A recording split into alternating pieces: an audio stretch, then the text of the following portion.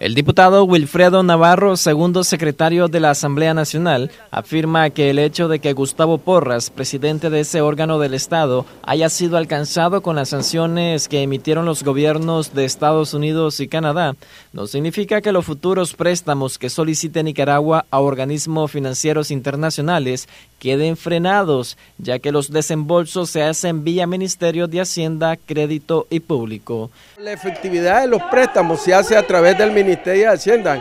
Lo que se hace es, lo que se quiere es aprobar, aprobar los préstamos pero los desembolsos y, y, quien se compromete por el gobierno es el Ministerio de Hacienda y Finanzas. ¿No se le estaría restando legitimidad al Poder Legislativo tener un presidente sancionado? Bajo ningún punto de vista, si estamos actuando dentro del marco de la ley. Aunque Porras no fue retirado de su cargo, solo excluido de sus funciones administrativas, diplomáticos de Nicaragua aseguran que su permanencia en ese órgano político le traería consigo graves consecuencias al país.